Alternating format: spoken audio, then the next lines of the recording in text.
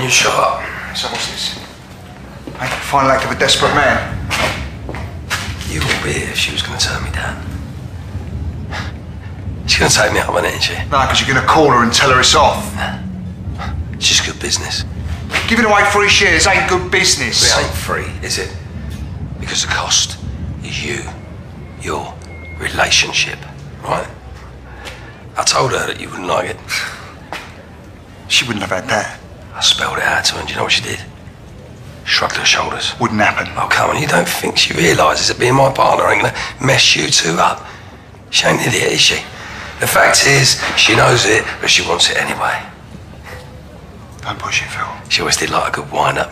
I remember that from back in the day. Shut your mouth. I told you that she'd been mine, didn't I? Well, come on! Get up!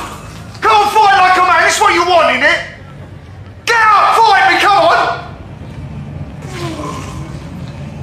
Get up!